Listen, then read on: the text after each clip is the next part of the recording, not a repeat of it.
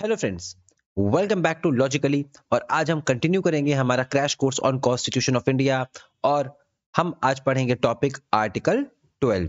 इसके पहले के वीडियोस जो मैंने सीरीज़ में बनाए हैं, उसकी प्लेलिस्ट हमारे चैनल पर पड़ी है, जिसको एक्सेस आप ऊपर आई बटन पे एक लिंक फ्लैश हो रहा होगा, वहाँ से आप उसको कर सकते हैं। इस लेक्चर की अगर आपको पीडीएफ चाहिए तो हमारा टेलीग्राम चैनल है लॉजिकली के नाम से, जिसका लिंक आपको डिस्क्रिप्शन बॉक्स में मिल जाएगा, आप वहाँ से उसको जाके डाउनलोड कर सकते हैं। तो ये शुरू करते हैं आज का लेक्चर विदाउट एनी डिले तो देखिए, सबसे पहले हमको ये जानना होगा कि हमारे यहाँ जो फंडामेंटल राइट्स दिए हुए हैं पार्ट थ्री में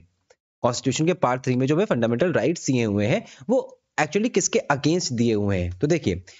कोई भी जो इंडिविजुअल है हमारे देश में, उसको कॉन्स्टिट्यूशनल प्रोटेक्शन चाहिए होता है अगेंस्ट स्टेट अगर प्राइवेट लोगों की बात करें प्राइवेट एक्शन की बात करें तो वो तो सफिशिएंटली प्रोटेक्टेड है by the ordinary law of the land लेकिन स्टेट का अगर एक्शन आर्बिट्रेरी है अगेंस्ट एन इंडिविजुअल तो उसके लिए उसको प्रोटेक्शन चाहिए कॉन्स्टिट्यूशनल प्रोटेक्शन ठीक है, और इसी के लिए हमारे यहाँ जो कॉन्स्टिट्यूशन है, उसमें फंडामेंटल राइट्स दिए गए हैं। तो फंडामेंटल राइट्स एक्चुअली किसके अगेंस्ट हमको मिलते हैं? तो फंडामेंटल राइट्स मिलते हैं हमको एक्चुअली स्टेट के अगेंस्ट एक केस था P D Shamdasani versus central bank of India इसमें सुप्रीम कोर्ट ने कहा था कि the language and structure of article 19 and its setting in part 3 of the constitution clearly shows that the article was intended to protect those freedoms against arbitrary actions of the state. मतलब इसमें ये बोला कि जो article 19 है और उसकी जो सेटिंग है पार्ट 3 में, उससे साफ़ साफ़ पता चलता है कि ये जो आर्टिकल है, वो जिन फ्रीडम्स को प्रोटेक्ट करना चाहता है, वो प्रोटेक्ट करना चाहता है from the arbitrary actions of the state rather than regulating the actions of the private individuals और प्राइवेट इंडिविजुअल से ज़्यादा उसको arbitrary actions of the state की फ़िक्र रहती है। तो हमारे जो फंडामेंटल राइट्स हैं, वो हमको मिलते हैं अगेंस्ट स्टेट अब जब हमें फंडामेंटल राइट्स अगेंस्ट स्टेट मिलते हैं तो अगला सवाल हमारे मन में ये उठेगा कि स्टेट क्या होता है? स्टेट है क्या? व्हाट इज़ स्टेट तो उसके लिए हमारे पास है आर्टिकल 12 आर्टिकल 12 हमको बताता है कि स्टेट की डेफिनेशन क्या है। तो आर्टिकल 12 को अगर हम पढ़ेंगे तो उसमें बोला है कि स्टेट इंक्लूड्स द फॉलोइंग सबसे पहले government and parliament of India जिसका मतलब हुआ executive and legislature of the union उसके बाद government and legislature of the state उसके बाद लोकल और other authorities within the territory of India and under the control of government of India तो इसमें देखिए government and parliament of India इसमें इसको समझने में कोई दिक्कत नहीं है। Government and legislature of the state इसको भी समझने में दिक्कत नहीं है। लोकल अथॉरिटी को भी समझने में ऐसा कोई प्रॉब्लम नहीं है। प्रॉब्लम आई अदर अथॉरिटी के इंटरप्रिटेशन में। It was a Pandora's box एक तरीके से, और इसके इंटरप्रिटेशन में कई सारे केस लॉज आए हैं, जिससे हमको ये पता चला है कि क्या स्टेट है और क्या स्टेट नहीं है। तो देखिए मीनिंग ऑफ़ अदर अथॉरिटीज तो सबसे पहले शुरुआत की अगर हम बात करें 1950s की अगर हम बात करें तो हमारा सुप्रीम कोर्ट जो था, उसने अदर अदर अथॉरिटीज का जो इंटरप्रिटेशन किया, वो थोड़ा सा रिस्ट्रिक्टेड इंटरप्रिटेशन किया। एक केस था university of Madras versus Shantabai इसमें मद्रास हाईकोर्ट ने यह बोला कि जो अदर अथॉरिटीज है, उसका केवल यही मतलब हो सकता है कि अथॉरिटीज ऑफ़ लाइक नेचर मतलब एजुस्टम जनरस उन्होंने ये बोला कि इसके पहले के वर्ड्स को अगर हम देखें तो उसमें लिखा है government and parliament of union government and legislature of the state तो जिस तरीके की अथॉरिटीज ये हैं, उसी तरीके की अथॉरिटीज को हम अदर अथॉरिटीज में रख सकते हैं। तो मतलब क्या हुआ कि it could only mean authorities exercising governmental और सॉवरन फ़ंक्शंस वो अथॉरिटीज जो गवर्नमेंटल या सॉवरन फ़ंक्शंस को एक्सरसाइज करती हैं, केवल उन्हीं को हम अदर अथॉरिटीज की डेफिनेशन में स्टेट मानेंगे। उसमें ये बोला इन्होंने कि it could not include persons persons को इंक्लूड नहीं करेगा, चाहे वो नेचुरल हो, चाहे वो जुरिस्टिक हो। जैसे कि university unless maintained by state इसके बाद धीरे धीरे जब समय बीता तो सुप्रीम कोर्ट ने लिबरल इंटरप्रिटेशन करना शुरू किया। एक केस था Ujjam Bai versus state of UP. इसमें सुप्रीम कोर्ट ने जो मद्रास हाई कोर्ट का रेस्ट्रिक्टिव इंटरप्रिटेशन था, उसको रिजेक्ट कर दिया और उन्होंने ये बोला कि ejusdem generis rule could not be resorted while interpreting this expression इस एक्सप्रेशन को इंटरप्रेट करते समय एजुस्टम जनरलिस का जो रूल है, इसको हम नहीं रिजॉर्ट कर सकते हैं, इसको हम नहीं ले सकते हैं, क्योंकि there is no common genus running through the previously named bodies मतलब उनका ये कहना था कि जो प्रीवियसली नेम्ड बॉडीज हैं, उनका कोई कॉमन जीनस नहीं है और कोई भी लिंक नहीं बैठता है उनके पास। और अगर हम उन्हें एक सिंगल कैटेगरी में रखने की कोशिश करें तो किसी रैशनल बेसिस पे हमको, हम उनको एक सिंगल कैटेगरी में नहीं रख पाएँगे। इसके बाद आया अगला case electricity board Rajasthan versus Mohanlal. इसमें सुप्रीम कोर्ट ने यह बोला कि जो एक्सप्रेशन है other authorities it is wide enough to include include all authorities created by the constitution और statute on whom powers are conferred by law. इन्होंने ये बोला कि सारी अथॉरिटीज जिनके ऊपर पावर कन्फर करी जाती है बाय लॉ चाहे वो कॉन्स्टिट्यूशन के द्वारा बनाई गई हो बनाई गई हो अथॉरिटी या कोई स्टैच्यूट द्वारा बनाई गई हो अथॉरिटी वो स्टेट की डेफिनेशन में आएँगे। इन्होंने ये बोला कि it is not necessary that the statutory authority should be engage in performing governmental और सॉवरन फ़ंक्शन इस बात की कोई भी ज़रूरत नहीं है कि वो कोई गवर्नमेंटल या सॉवरन फ़ंक्शन कर रही हो। इस इंटरप्रिटेशन के आधार पर उन्होंने राजस्थान इलेक्ट्रिसिटी बोर्ड को आर्टिकल 12 में स्टेट माना। उसके बाद अगला केस आया सुखदेव सिंह वर्सेस भगत राम और इस केस में फोर टू वन की मेजोरिटी के, के साथ उन्होंने ओ एल और इंडस्ट्रियल फाइनेंस कॉरपोरेशन को भी स्टेट माना। इसके बाद जब और समय बीता तो सुप्रीम कोर्ट ने अदर अथॉरिटीज का मोर ब्रॉड और लिबरल इंटरप्रिटेशन करना शुरू कर दिया। एक केस था R D Shetty versus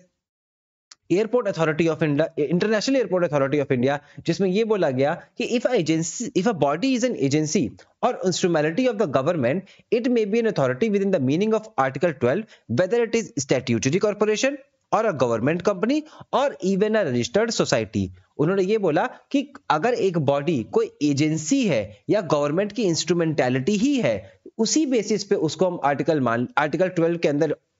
other authority मान लेंगे। भले चाहे वो, चाहे स्टेट्यूटरी कॉर्पोरेशन ही क्यों ना हो गवर्नमेंट कंपनी ही क्यों ना हो, या फिर चाहे वो रजिस्टर्ड अथॉरिटी ही रजिस्टर्ड सोसाइटी ही क्यों ना हो। तो इस केस में उसके बाद एयरपोर्ट अथॉरिटी ऑफ़ इंडिया को स्टेट मान लिया गया था। इस केस में उन्होंने ये डिटरमाइन करने के लिए कि कोई भी बॉडी जो है वो एजेंसी और इंस्ट्रूमेलिटी ऑफ़ द गवर्नमेंट है या नहीं है, उसके लिए कुछ टेस्ट ले डाउन किए गए थे। तो वो टेस्ट क्या है? सबसे पहले उन्होंने ये बोला कि अथॉरिटी में हमें ये देखना होगा कि क्या उसके फाइनेंशियल रिसोर्सेज कहाँ से आते हैं। अगर उसके फाइनेंशियल रिसोर्सेज स्टेट से आते हैं और वो चीफ फंडिंग सोर्स है उस अथॉरिटी का तो वो स्टेट मानी जा सकती है। सेकंड उन्होंने ये बोला कि अगर स्टेट का उस अथॉरिटी पे डीप एंड परवेसिव कंट्रोल है तो उसको स्टेट मान सकते हैं। उसके बाद उन्होंने बोला functional character being governmental in essence उसका जो फंक्शनल कैरेक्टर है, अगर वो गवर्नमेंटल है इन एसेंस तो उसको हम मान सकते हैं कि स्टेट गवर्नमेंटल इन का मतलब कि उसका जो फ़ंक्शन है, वो या तो पब्लिक इंपॉर्टेंस का हो, या ऐसा हो कि गवर्नमेंट फ़ंक्शन से बहुत ही क्लोजली रिलेटेड हो. इसके बाद उन्होंने बोला कि अगर ऐसी कोई अथॉरिटी है जहाँ पे एक गवर्नमेंट के डिपार्टमेंट को ही ट्रांसफ़र कर दिया गया है किसी कॉरपोरेशन को तो वो भी एक स्टेट हो जाएगी. और उन्होंने बोला कि हमें यह भी देखना होगा कि अगर कोई कॉरपोरेशन कोई मोनोपोली स्टेटस एंजॉय करती है, जिसको स्टेट के द्वारा कन्फर किया गया है, या फिर जिसको स्टेट के द्वारा प्रोटेक्ट किया गया है तो उस अथॉरिटी को भी हम स्टेट मानेंगे। कोर्ट ने यहाँ पे ये बात भी बोली थी कि ये जो टेस्ट है, वो कंक्लूसिव नहीं है, केवल इलेस्ट्रेटिव है और कोर्ट को जो है, हर केस के फैक्ट्स एंड सर्कमस्टांसेस के हिसाब से डिसाइड करना पड़ेगा कि कोई भी अथॉरिटी जो है, कोई भी बॉडी जो है, वो अदर अथॉरिटीज के डेफिनेशन में आएगी या नहीं आएगी विद इन आर्टिकल ट्वेल्व इसके बाद इन्हीं टेस्ट को अप्लाई करते हुए Som Prakash versus union of India में कोर्ट ने यह बोला कि भारत पेट्रोलियम कॉर्पोरेशन जो है, वो स्टेट की डेफिनेशन में आएगा अंडर आर्टिकल 12 इसके बाद अगला केस था अजय हासिया वर्सेस खालिद मुजीब। इस केस में एक सोसाइटी जो कि रजिस्टर की गई है under societies registration act of 1898 उसको भी उन्होंने ये बोला कि ये एक एजेंसी या इंस्ट्रूमेंटेलिटी ऑफ़ द स्टेट हो सकती है और इसको उन्होंने स्टेट माना। इस केस में कोर्ट ने यह बोला था कि जो टेस्ट है वो ये नहीं है कि ज्यूरिस्टिक पर्सन को कैसे क्रिएट किया गया है। लेकिन टेस्ट ये है कि ज्यूरिस्टिक पर्सन को क्यों एग्जिस्टेंस में लाया गया है? एक कॉरपोरेशन वो स्टेट्यूटरी कॉरपोरेशन भी हो सकती है, चाहे वो कंपनी भी हो सकती है, चाहे वो सोसाइटी ही क्यों ना हो जो कि रजिस्टर की गई अंडर सोसाइटी रजिस्ट्रेशन एक्ट अगर वो एक इंस्ट्रूमेंटेलिटी या एजेंसी है गवर्नमेंट की तो वो जो है आर्टिकल 12 के अंदर स्टेट मानी जाएगी। इसी टेस्ट को अप्लाई करते हुए सब्सिक्वेंट केस लॉज में Indian statistical society Indian council of agricultural research food corporation of India steel authority of India Bihar state electricity board Indian oil corporation इन सबको आर्टिकल 12 के अंदर स्टेट माना गया। तो लास्ट जो हमारा बॉटम लाइन है, वो ये है कि ये हमको देखना होगा कि अगर कोई भी बॉडी स्टेट की इंस्ट्रूमेंटेलिटी या स्टेट की एजेंसी की तरह काम कर रही है तो उसको हम स्टेट मानेंगे, नहीं तो उसको हम स्टेट नहीं मानेंगे। इसके बाद जो आखिरी सवाल उठता है, वो ये उठता है कि क्या जुडिशरी स्टेट है या नहीं है? तो Naresh versus state of Maharashtra के केस में ये बोला गया था कि अगर हम मान भी लें कि जुडिशरी स्टेट है, फिर भी हम आर्टिकल 32 के अंदर हाई कोर्ट का कोई भी ऑर्डर हो या सुप्रीम कोर्ट का कोई भी ऑर्डर हो तो सुप्रीम कोर्ट का कोई भी जजमेंट ही हो तो उसके अगेंस्ट जो है, हम रिट इशू नहीं कर सकते, क्योंकि ऐसे ऑर्डर या ऐसे जजमेंट जो है, वो कभी भी किसी भी इंडिविजुअल के फंडामेंटल राइट्स का हनन नहीं कर सकते। It can not be said to be violative of fundamental rights of the citizen उसके बाद एक केस आया A R Antulay versus R S Nayak जिसने पोजीशन साफ़ कर दी। उन्होंने ये बोला कि जब भी कोई भी कोर्ट रूल मेकिंग पावर को अपना एक्सरसाइज कर रही होगी तो उस केस में, उस टाइम पे वो जो कोर्ट होगी, वो जो जुडिशरी होगी, वहाँ पे वो स्टेट मानी जाएगी, लेकिन जब वो कोई जुडिशियल फ़ंक्शन को एक्सरसाइज कर रही होगी तो उस जगह पे वो स्टेट नहीं होगी। तो आज का हमारा लेक्चर आज यहीं पे खत्म होता है, और आज हमने आर्टिकल 12 को बहुत ही अच्छे से पढ़ा है और बहुत ही डिटेल्ड में इसको डिस्कस किया है। एक केस यहाँ पे मुझसे छूट गया है, जिसमें यह बोला गया था कि बीसीसीआई जो है वो स्टेट नहीं है। तो ये केस आप देख लीजिएगा जी टेलीफिल्म्स लिमिटेड वाला केस है ये तो इसको आप एक बार चेक कर लीजिएगा। बाकी इस लेक्चर की अगर आपको पीडीएफ चाहिए तो आपको हमारे टेलीग्राम चैनल पर मिल जाएगी, आप जाके उसको डायरेक्टली वहाँ से डाउनलोड कर सकते हैं। अगली बार जब आपसे मिलेंगे, तब तक के लिए thank you and happy learning.